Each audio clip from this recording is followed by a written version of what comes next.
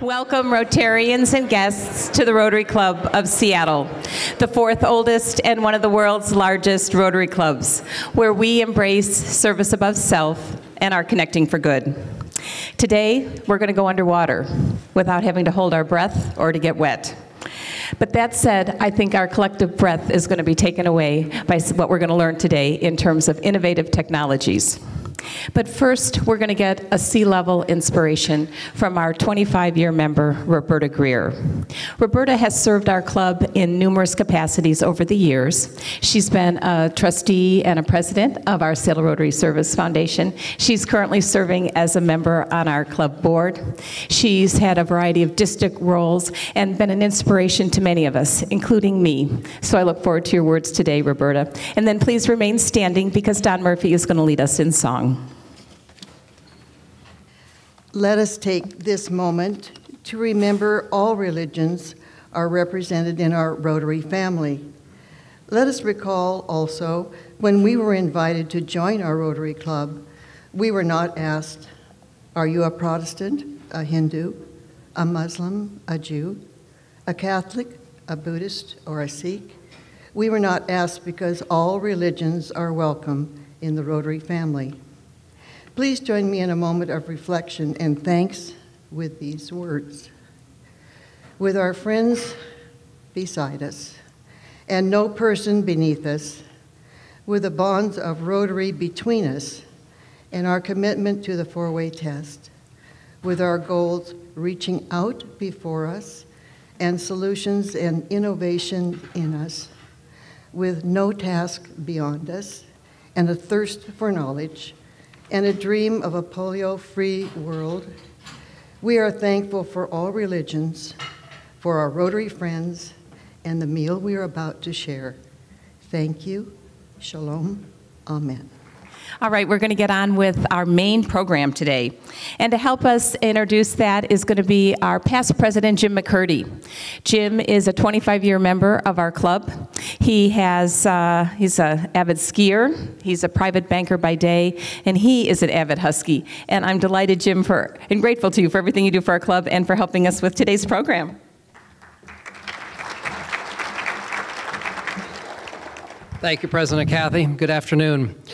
Last year, as I was listening to the fascinating program we had here on outer space by the company Blue Origin, it occurred to me that we could have an equally compelling program about inner space or the world under the sea. That became more apparent last summer when I had the opportunity to go on a dive on the submarine you're going to hear about. OceanGate is an Everett based company. To date, the company has built a highly maneuverable five man sub known as Cyclops and has completed a number of successful missions including um, diving on the ocean liner Andrea Doria. There's a program on your uh, table on that. And also searching for six gill sharks in Desolation Sound. That is where I had the opportunity to go along on the sub for a ride. Surprisingly, I found the submarine cool, quiet, comfortable, and not claustrophobic. I also learned that you don't drive a sub, you fly it. Thank you, Stockton, our speaker, for the opportunity to experience the world below the surface.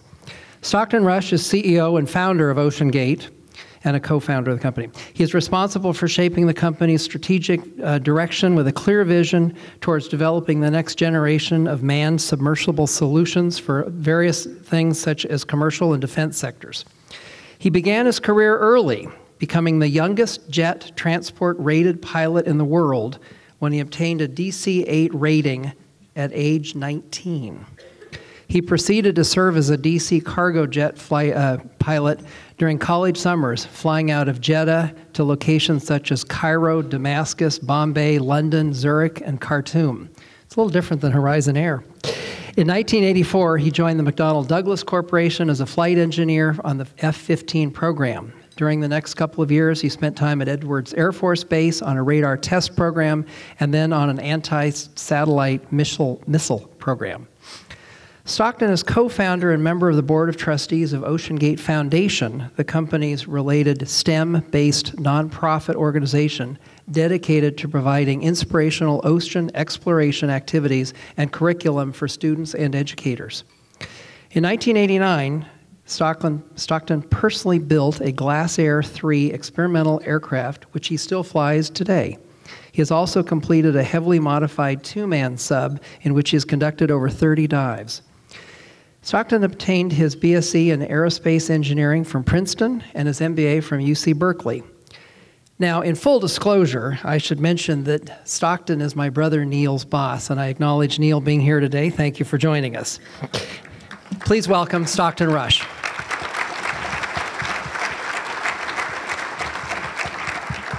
Thank you, Jim. Well, he, uh, as uh, Jim pointed out, I wanted to be an astronaut. Uh, that's where I got my aerospace engineering degree. I wanted to be the first person on Mars. And uh, over 10 years ago, I, uh, I, finally realized that by definition, in the vacuum of space, there is nothing. Uh, one of the reasons the views are so spectacular is because there's nothing out there until you get to Mars. And, uh, and I realized that really what I wanted from space was to explore new worlds, find new species. I wanted Star Trek, Star Wars, 2001 Space Odyssey. And I realized it's really, it's in the ocean. And as we all know, it's, oceans make up uh, three quarters of the planet. If you think about that, our world is just the dirt, as Sylvia Earle likes to refer to it. There are three worlds worth on a two dimensional basis to explore in the oceans. There's over 100 times if you think of the volume. There's life all the way through the water column, whereas on the surface, their life stops when you get to the top of the trees.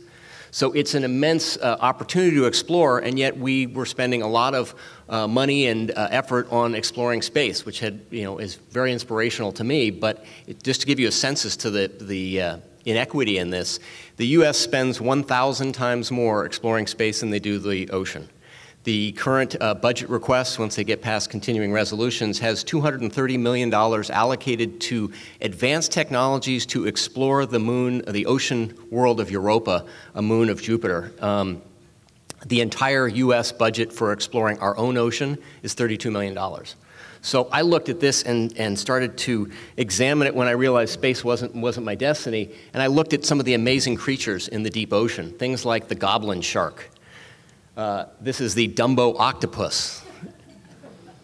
One of my favorites is the barrel eye fish. This fish had been uh, brought up in, in deep trawl nets, um, but when it would come to the surface, its gelatinous head would implode. So they didn't know anything about it until it was seen in its own environment, and they realized the eyes actually rotate up and uh, up in its uh, in its head. So bizarre and, and uh, interesting creatures, great things to explore. Everything I thought I was going to get in space was in the ocean. I ask people often, you know, what do you, um, little facts, simple facts that, that I didn't know and, and most folks didn't until I think recently the knowledge has gone up quite a bit. You know, the average depth of the ocean, uh, the average depth of the Mediterranean. You know, those are, are pretty basic questions. The longest um, um, mountain range uh, is, uh, is here, the uh, Mid-Continent Rift. A lot of people don't know that. The average depth of the ocean is 13,000 feet. In fact, we don't really know because we have better maps of the moon than we have of the bottom of the, uh, uh, of the Earth, so we don't know the exact average. You'll get multiple answers off of Google. Uh, the Mediterranean is almost 5,000 feet average depth.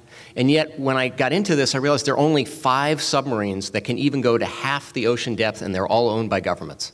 It didn't make a lot of sense. A lot of the work that is done um, in the ocean is done with robots and robotic vehicles, and I'll talk about that. And those are the right tools for covering such a huge problem.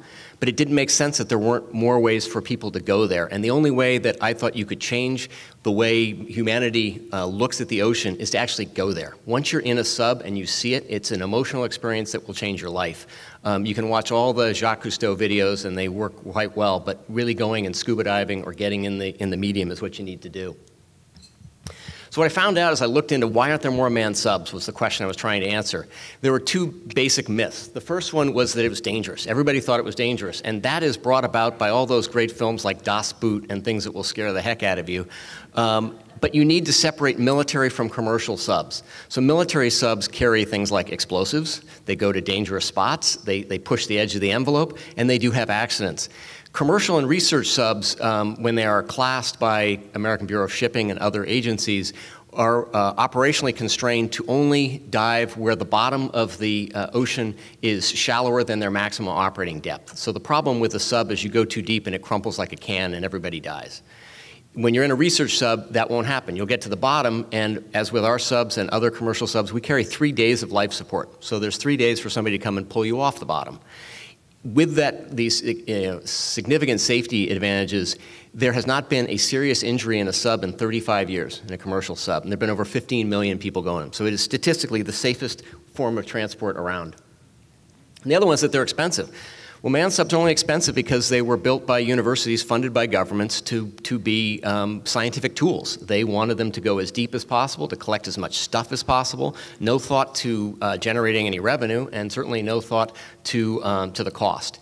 Um, and one of the key elements there is they're big and they're heavy. And if you're big and you're heavy and you have to launch from a big ship, that's where all your cost is. 90% of a sub's operating cost is the surface support vessel, as is the case with things like robotic vehicles and even some of the autonomous vehicles. Then I looked at this thing and said, well, how can, how can you make money on this? I looked at doing it. We, uh, Jim mentioned our nonprofit. Um, we, um, I, I, thought about doing this as a nonprofit or as a uh, for profit with a social mission and I looked at what the revenue opportunities were here. And there are a number of them. This is the existing market for just subsea tools. So the, the lion's share of this is from oil and gas. Oil and gas uses robotic vehicles to service, uh, in the Gulf of Mexico alone, there are 3,000 oil platforms. There's 30,000 miles of pipeline. So it's a huge amount of infrastructure. There's over $600 billion of capital expenditures every year on everything from subsea fiber, uh, uh, pipelines, oil platforms, and the like. It's a massive, massive market. But those folks uh, don't really want to pay you to go in a sub, uh, at least not right away. And there's some business things I can talk later about at some other time. But the, the one market that was interesting was this, this, uh, this is ultra high net worth adventure tourism. Adventure tourism itself is a $270 billion a year business and growing rapidly. It's one of the, one of the stars in the travel area. Ultra high net worth tourism defined as trips that cost more than $100,000 per trip. That's a $4 billion a year market. And those folks would like to go with me and explore and find things and advance mankind's knowledge. So that's what we targeted as our initial market. How, do, how, do we, how does work get done for those other markets we hope to go after later? Well, this is a robotic, uh, a uh, remotely operated vehicle, which is how most of the work is done. It is, uh, these things can range in a variety of sizes, but the large, what they call work class ROVs, are the size of a minivan, some as large as a bus. The trick with this vehicle is the tether. It needs power to communicate. One of the things that separates subsea from uh, surface is people talk to me about, about drones and why aren't there just going to be lots of drones like we all saw in the, in the Super Bowl and all the amazing things you can do. Underwater, they haven't solved the communication problem. The highest data rates you can get communicating through water are around 11,000 kilobits per second. Not enough for video, not enough for full remote activity and you need to get power, so it's difficult. You can't have internal combustion engines or turbine engines to get power. So you need this tether, and the tether, particularly when you get deep down a couple thousand feet, it drives everything. It, if, the, if the tether pulls on the robot, the robot can't do its job. So the ship has to stay exactly in the right location. The tether has to have a drop weight on it. The robot has to come out. It's a very complicated and expensive apparatus. The other vehicle that holds a lot of promise is super smart uh, drones, for lack of a better description. These things are autonomous underwater vehicles, and the idea is that they go out and they're wonderful for mapping. If you need to do a broad area we call mowing lawn, go back and forth and get a sonar map so we might know better where the canyons and, and what is uh, undersea. That's a great vehicle, but it's very difficult to program a machine to deal with the unknown. And it, to do that is also going to require a pretty good computer. And one of the things I like to point out is human beings run on 140 watts. We are the world's greatest supercomputer and the, world's greatest manipulators. You won't find a supercomputer to do that. And human beings are good you don't have to feed them all the time, too. Here's a, here's a work class ROV. If you look, that's a person. That's how large these things. This is probably a $10 million piece of equipment. The ship might be 50 to 100 million. The ship could cost $50,000 a day. Um, it is a, uh, and you notice a lot of things you'll see, look how calm it is. When the weather gets difficult, it's hard to launch. That limits you know, your operating time. It also dictates that you have an extra large ship. When we look to solve that problem, uh, if you look at this as a, this is a tether management system, again, that's the size of a person. This is a modest tether management system. So it's a huge cable, and the deeper you go, the larger the cable has to go because it needs to transmit more power. So you end up having more resistance in the line, you need a bigger ship, you need a bigger cable, and it compounds exponentially. Uh, this here is uh, this is Alvin, which is uh, the, the queen of the U.S. fleet. We used to have a couple of other deep diving subs that the military operated, uh, the, the uh, NR-1 and a few others that have retired. Uh, Alvin celebrated its 50th birthday. There aren't a lot of high-tech pieces of equipment that have a 50th birthday, and it's had major overhauls. The most recent um, overhaul was uh, $42 million was the stated cost. The goal was to go deeper and be a little more comfortable, have a little more features. The uh, Alvin used to be able to dive to 4,500 meters. After this uh, expenditures of all of ours, uh, it can now dive to 4,500 meters. Uh, there, is a, uh, there are plans to get it to 6,500 meters, but they ran out of budget, so a few of the items won't quite make it. But this is its, its support ship. That is the uh, structure that attaches to Alvin to bring it onto the deck in sea states like this, which is about as heavy a sea as you would ever operate it. The uh, Atlantis is the sister ship to the Tommy Thompson, which parks at uh, the UW. So uh, it's one of six uh, global class uh, NOAA vessels, uh, large and expensive. And one of the problems is, it's, as I like to say, it's always in the wrong ocean. So it'll be in the Pacific, and maybe a plane will crash in the Atlantic. And how do you get it there? And, and it's this giant, uh, as my father used to say, the loud ticking sound is the overhead. Uh, this is the Chinese Jiaolong, currently the deepest diving operational sub. Uh, it goes over 7,000 meters deep, copied on Alvin and all the other uh, deep diving subs. They're, they're big, they're fat, not particularly attractive. It does a lot. It's got big manipulators, and they're good for what they want to do. Lots of basic research, picking up lots of samples. That is a, a market we might go after, but it's not the one that, that our uh, clients really want to uh, participate in. And if you think about the, the dive experience, um, this is what you look through. These are your viewports. You, you lie on these mats here, um, and there's a lot of wasted space. The typical deep diving sub is a sphere. A sphere is the best geometrical shape for dealing with pressure. It's not a great shape to put people in, so you have a lot of wasted space, which means they're big and they're fat, and now they require these big ships. Contrast that with this is our uh, Cyclops 1 sub. Uh, that was the first slide, had a picture of that. It is, uh, we're building, and I'll point a little bit, the, a deeper diving sub. But we, we realize that when you go in a sub, and we, we've had a um, been, business been around for seven years. We've done uh, taken over 200 people in our uh, in our smaller subs, and we found out one of the questions was how many what's the size and shape? What do you need? And it turns out that when you go underwater and i've done this i'll be diving and somebody will say hey that's a that's a really uh, interesting looking fish. What is it? I don't know. It's an interesting fish. I just drive this thing you need a subject matter expert. Wherever you go, there's certain flora and fauna that a person can speak passionately about in the area you are. So for on any dive, you need to have a pilot and you need to have what we call a subject matter expert. And then if you're going to take somebody on an adventure tourism experience, they don't want to do it alone. So you, are going to be a husband and a wife and a father and a son or two friends are going to go. It means you need four people. All the current deep diving subs are three-person subs. Uh, we decided four or five is not too bad. So I'm taking the picture here. It also, film and media is a big market opportunity. And for film, you need to have enough depth of field where you can have a, a, story be told in the sub. And if you see any videos of current, there's a number of subs out there that are uh, owned typically by uh, on large yachts. But when you see videos of those, they're selfie shots because you can't get the image. We, we've done some work with uh, CBS News where we can have the CBS News correspondent talking to the researcher and the picture behind them, and the cameraman and the producer and the pilot in the sub at the same time. That allows you to tell a totally different story than when you have to do selfies and, and it looks a bit like a scuba shot. You're going back and forth. So this is Cyclops 1, the uh, precursor to Cyclops 2, surprisingly. Um, we solved the, um, we, we copied, I won't say it's all our idea, we copied what was being done in Hawaii, where they, they, they solved the problem of how do you launch two highly dissimilar loads in high sea states. So if you might have a 20 ton sub and a 400 ton ship, and they're going to rock and roll differently. And so they have that giant A frame that was on Atlantis. There are all kinds of other approaches, moon pools, and a variety. One of the solutions to doing that is you don't. You do it underwater. The worst place on the planet is when you have the air water interface, also the uh, air ground interface. You know, um, uh, every aircraft accident was caused by the altitude becoming negative. Um, so you, uh, so the trick is don't, um, don't operate, um, uh, don't operate the ship. Keep them separate, and then transport your folks back and forth with a soft-sided Zodiac, so that when they bang into each other, people don't break their arms, you don't smash equipment. We tow this out. We've taken it over 300 nautical miles in different areas out in the Gulf of Mexico, off of uh, the East Coast, uh, around here, and you sink it. So it's a very dramatic experience to be in this thing as it sinks. Now you're underwater and it's dead calm. Now you do the difficult thing of unlocking from the platform, taking off, uh, going off and doing your dive, coming back, and then lifting back to the surface, transporting people um, with a, with a, a, a uh, soft-sided vessel. This allows us to operate with any ship that we, we call ships of opportunity. The question is, what's the ship you need to go out into whatever area it is? Around here, when you're near a port, we've operated with an 18-foot boat. No sub gets operated with anything less than 200 feet, except if you do it this way.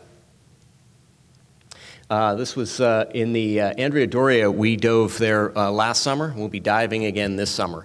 And a lot of this is, uh, last summer was sort of a test run. We took uh, 12, take it back, six clients out. Um, we went from out of Boston all the way around Cape Cod to the Andrea Doria, which is 50 miles southeast of Nantucket. Uh, first subs to go on that uh, wreck in over 20 years. The last one was the classified NR1 sub of the Navy. But you can see this is, uh, go back here.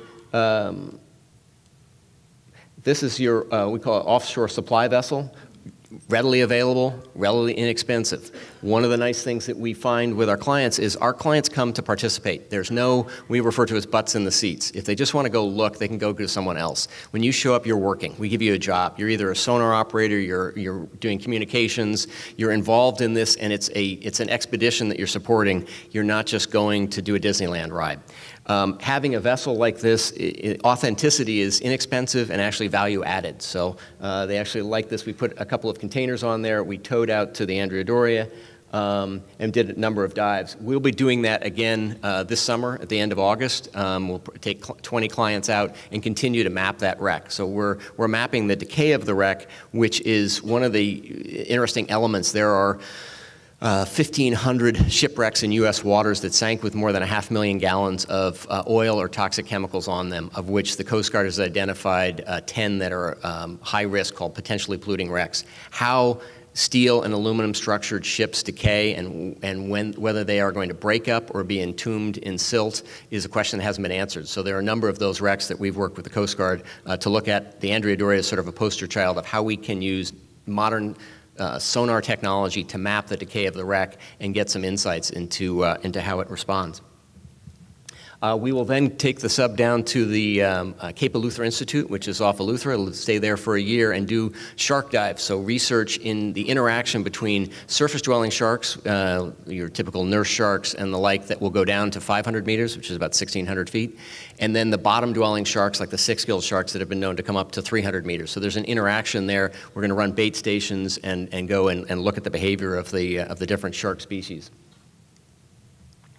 all of us, you know, the goal of mine was to go deep, get past the five subs. You know, maybe, maybe we could have 10, maybe we could have 50, but they shouldn't all be owned by government. And we should be able to go into the ocean and explore it and inspect and uh, investigate and do a number of activities in subs. We have uh, started winding this a carbon fiber hull, so it's very similar to Cyclops 1, um, Cyclops 1 had a steel hull. The big difference when you're going extra deep is you need um, a much stronger pressure vessel. This uh, started winding a 5 inch thick carbon fiber hull. It'll be the largest carbon fiber um, hull ever done for any, any sub. Uh, has titanium uh, ends and it can go to 4,000 meters. At 4,000 meters, we get over half the ocean. Um, we can also get to the Battle of the Coral Sea in the South Pacific. Uh, a little bit more than 4,000, we can get to uh, the North Pole. We can get to the Titanic. And we can get to my favorite, which is the hydrothermal vents, um, which is where we find all the extremophiles and new life forms. And as Jim mentioned, when I founded the business, I also founded OceanGate Foundation because I wanted um, future generations to be inspired by the ocean like I was inspired by space. I, you know, I, I, slam space occasionally, but you can't slam the fact that it is extremely inspirational. I would not have gotten an engineering degree if it wasn't for space and it wasn't for what NASA did. And they have inspired a lot of uh, youth to go into technology backgrounds, and I think they do great work in that. I think the oceans could be as big a draw and, and, should be bigger. It's the second largest industry, maritime industry, second largest industry in the state of Washington. There are great jobs, uh, high-paying, uh, middle-class jobs, running robotic vehicles, uh, working on ships. Uh, it is a, a, great, you know, growth opportunity, and I wanted kids to understand that. And one of the things that really draws them are submarines and sub-pilots. We make sure our sub-pilots are young. That's one of our sub-pilots. I don't want them to be a 50-year-old guy. So we have a bunch of 20-somethings as sub-pilots. We have some gray hair to make sure they are, uh, have some gray hair. Um, but we have them when we the sub goes out. We go out with uh, with our pilots and go to um, uh, underprivileged schools, bring schools out, so the foundation funds getting a bus so they can do a field trip and come out and see the sub. We do work with the Snohomish County Boys and Girls Club to bring them in so that kids can see the subs and the manipulators and talk to our pilots and hopefully inspire them, uh, as I was inspired to, to go into space. And that is my short presentation. I have a longer one if anybody wants to hear the, the, the gory details of any subsection, but I'll, I'll open it up to any questions.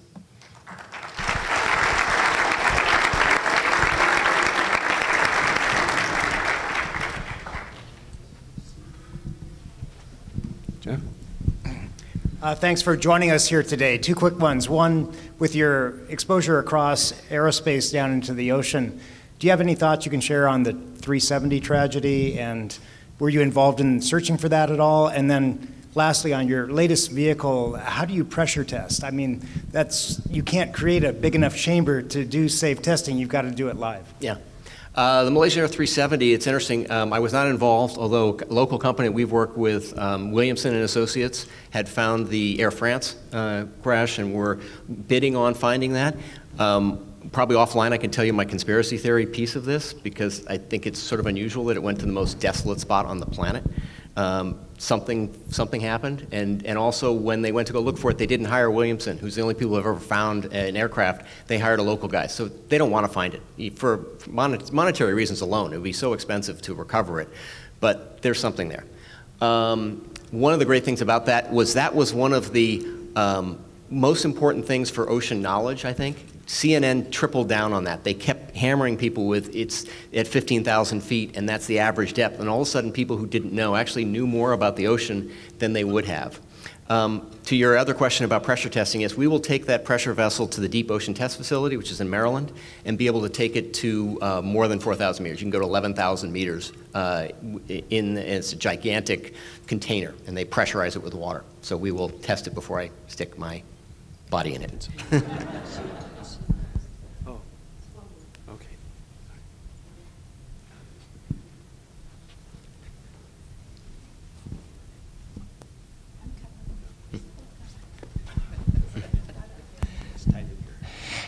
have you been approached to uh, think about uh, looking for oil at greater depths than are currently available? Uh, I have not been approached, but I have approached. so I initially looked at the markets and said, "Hey, the big market is oil and gas," and so I and they love to take meetings, but Oil and gas is very set in its ways. They tend to want to see technology proven. They'd like you to have done work with one of their competitors or somebody in their field.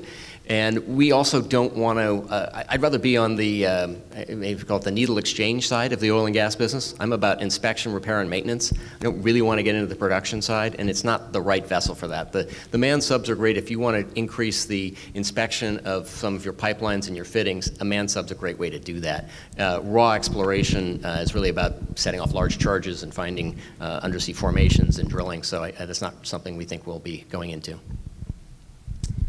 What do you? Uh, uh,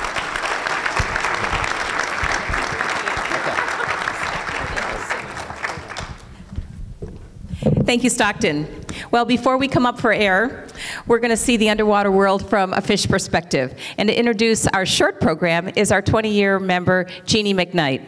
Jeannie is actually doing double duty today. She's going to be our totem reporter as well as our short program introducer. So, Jeannie, I want to thank you for everything you do to report on and to support our club. Thank you, Kathy.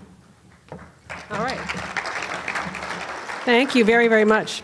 So when, when President Kathy announced her priorities for the year and said that innovation was going to be one of them, I rubbed my little hands together and went, I know just the company and I know just the speaker. So uh, this particular speaker today is going to be talking about eco-technology. It's a new way of looking at a technology to save the planet, and you'll hear more about this. so I first met Vince Bryan III six years ago when the company known today as Whoosh Innovations was getting off the ground. Now, why is he Vince the Third, V3 as he's called? It's because he comes from a family with uh, a father who invented a medical device, a sister who invented the Gardasil vaccine, a family who built the Columbia Gorge, Cave B. So it comes from a family of entrepreneurs and people who don't take no for an answer. So uh, today, Whoosh Innovations is leading the charge to find a better way to move fish over, above, and around obstacles primarily. In an aquaculture setting, to move broodstock, one fish which might actually be worth $140,000, or to move fish through a processing plant in a, say, seafood setting, where they can then um, eliminate some of the hazards of food safety that you find. So, this is a company that's perfect for the Northwest because it's all about fish, it's all about innovation. Uh, and it's also all about the tenacity of its founder, Vince Bryan, who um, has, by the way, a degree, an undergraduate dual degree from the University of Southern California in politics and economics, a degree in law from the Seattle University School of Law, and then an advanced degree in international transactions from the McGeorge School of Law from the University of the Pacific. As I said, he takes no for an answer, and you're going to hear a little bit about that today. Uh, primarily, Vince has been known speaking to the National Hydropower Association about adopting this technology over fish ladders to get fish over dams. Someday we may see salmon returning to over the Grand Coulee and Chief Joseph Dam, Dam to spawn. And I'll tell you what, the tribes love this technology. So I'm not going to talk a lot about it because I want to give him the time. Vince Bryan.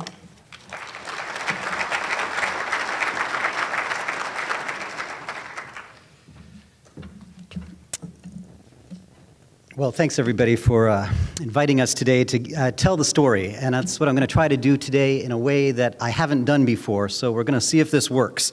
Um, but uh, Whooshh Innovations, as Jeannie alluded to, is a, it's a private company, and we were founded by the, uh, the founders and many angels along the way. Um, in the midst of the financial crisis. So to me, it's, it's actually remarkable we're still here today. Um, um, We, we uh, gained some notoriety a couple years ago. Some of you may have heard of John Oliver and his political satire and so forth, and he took up the, uh, the, the whoosh salmon cannon. And he said something that I thought I would share today. He said, um, In your darkest moments of despair, when you see a world torn apart and at war, I want you to remember that whoosh's salmon cannon and think, we can do great things. Uh, as is is his way. John Oliver was uh, uh, making a serious point uh, with humor. Uh, but look it up on, on YouTube because uh, he was trying to wake everybody up to that there is a simple solution here to a problem that has pretty big ramifications. And I'm kind of going to try to get you there today. So here we go. Um, I'm going to tell you an old fish story. You learned about it in, in elementary school, but I'm going to have to start in the middle because of my limited time.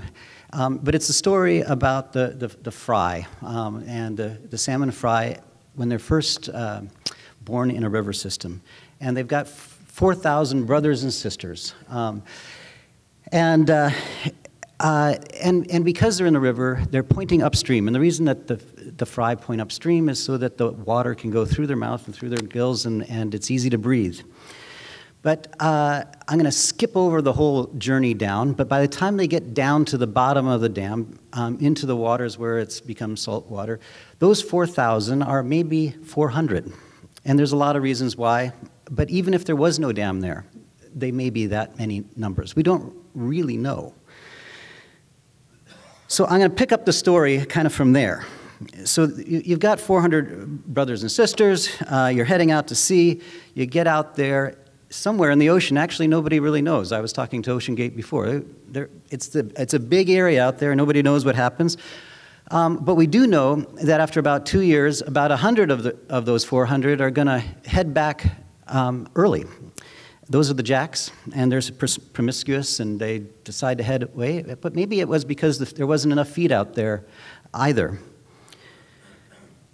Um, so, uh, as you continue um, uh, to look for food and forage over the years and grow, your numbers reduce further, and you're down to 100 or so. Uh, the blob you encounter on the way that you hear so much about in the news, and by the time you're heading back uh, uh for, the, for your journey back upriver, you're maybe down to 40 and you're gorging yourself on anchovies and herring and so forth as you're trying to store enough fat because you're not going to eat anything once you go get back into the, into the freshwater rivers.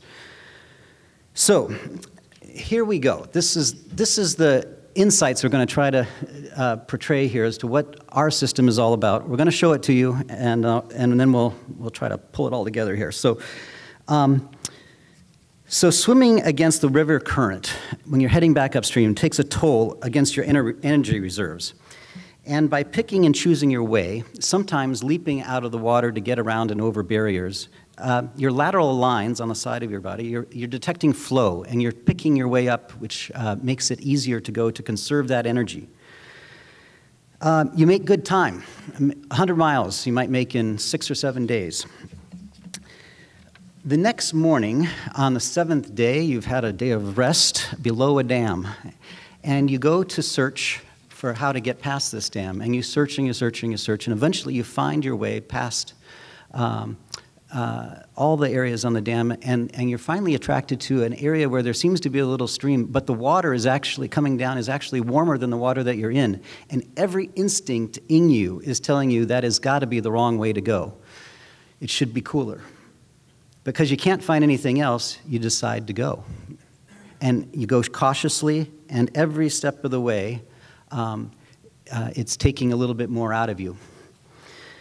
So uh, you continue up, uh, and, uh, and as, you, uh, as you go, your, uh, the stress is building in your, in your bodies, your cortisol level is going up, and when that happens, that's not good. Because what it means is that the fertility rate, the fertility of your eggs and your sperm and so forth are going to be less. And so you're worried about two things as this fish, as you're heading up, that you're going to run out of energy before you get there and that uh, you're not going to be fertile when you get there, even if you get past all the dams. So we go again, and the next dam you approach, the last of, uh, of, of several.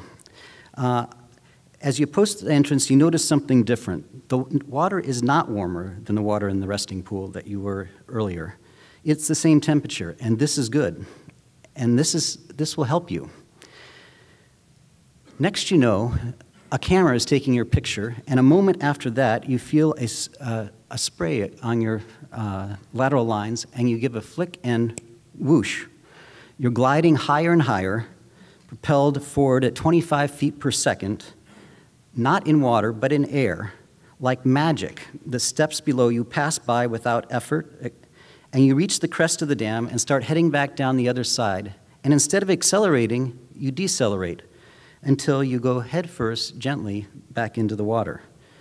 And because you haven't struggled for 10 hours to get up the dam, you're rested. All your brothers and sisters, now only 24, only 12 of which uh, are female, uh, are uh, right there, right one after another, one second after another. So you quickly reach the cool creek and the shallow waters of your youth. You search for the perfect place to mate and lay your eggs, but there are so few places left. And then you spot another salmon. You see it turn on its side and float away, her energy reserves spent too early. You move in, you clear away a space in the gravel, and watch that other mother's eggs drift in harm's way. You determine that you're not going to let that happen to your eggs. Uh, if you could put the video on now, I forgot about one of the, the, the slides, so that's okay.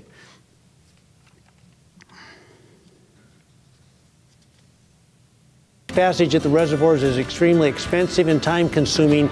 We've got to find a way that is cost effective, efficient, safe for fish, and something we can do in a timely manner.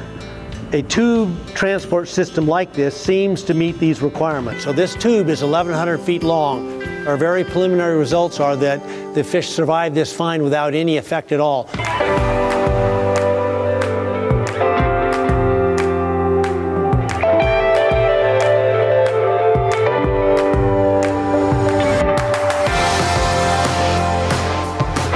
So the Whooshh tubes work on the principle of pressure differentials, uh, which is a fancy way of saying we push uh, harder on one side of the fish than the other. So we introduce a little bit of airflow behind the fish and we gently push them along, is um, sliding in the tube. Um, there's, it's basically frictionless, uh, which is what allows us to transport the fish so gently with very little pressure. This, this is new technology that is looking to improve on fish passage. You know, ladder in Cle Dam would probably be about 50 to 60 million dollars. Swim up a denial system into the wash and then get relocated to a higher point. So here you're going to see it actually happening at, at Priest Rapids Dam in a study that we did last year. In, we've done now 13 or 14 studies. Here are some of the conclusions. Uh, the whoosh fish swim farther and faster. The system doesn't stress the fish. The fertility rates were also higher in two of the controlled hatchery studies that were done on the subject. And the numbers themselves, if you think about the exponential effect that can have it, you have a, a, a female fish that has 4,000 eggs in it, and if you keep those surviving, the growth can be and return can be very great. It may surprise you. There are 80,000 dams in the US. 2,500 of them have hydropower. They're the only ones really that have the, had the money to put in any sort of passage at all. So most dams have no fish passage. By installing 4,000 units a year over the next uh, 20 years, or 11 units a day, you can have fish passage on every one of them. There have been huge community efforts to help the spawning grounds, um, and uh, it's, it's a terrific effort. However, the, the impacts are more limited because the fish that are actually arriving there aren't necessarily successful in, in even if they do get there. So um, we work with other fisheries. I want to tell you the hatcheries, seafood processors, and aquaculture. And the reason that we do that is we're also having to feed the world. Um, and fish are the most efficient food to protein producer that there is. So while I understand we're running out of time, I want to tell you one, you got to do one thing for, uh, for us.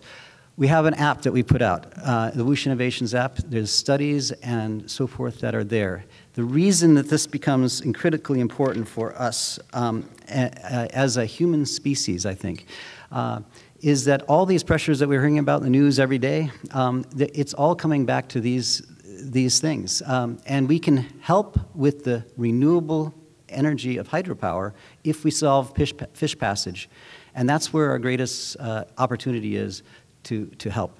So thanks for your time. Um, check out the videos. They're a lot of fun to watch. That was just a little piece. Thanks. Well, I regularly wear my rotary pin, and I'm often asked about it. And it always surprises me how many people don't know about Rotary or have a very outdated view of Rotary. So I don't know about you, but I often get asked, what's Rotary? But actually the question that I like to answer is, why Rotary? We're all busy. I am, you are. So why do we make Rotary a priority? I'd like to think it's because we appreciate the connections with other engaged citizens in our community, the format that we have every week that gives us a window into some lifelong and ongoing learning, uh, a platform for service together with hands-on service projects and opportunities, as Nancy shared, to make financial contributions to uh, do greater good as a collective um, in terms of um, making a difference in the world. All these things add up, and we're, in many ways, a well kept secret. So, my call to action this week is to encourage you to find someone who should know more about Rotary and invite them to join you. We've got some interesting programs coming up where they'll have an opportunity to learn what Rotary does, uh, see us in action, meet some of us, Let's expand what the world knows about Rotary and at the same time help build our club's membership. So let's get out there and answer the question, why Rotary, and answer that for the people who we care about. We're adjourned until next week.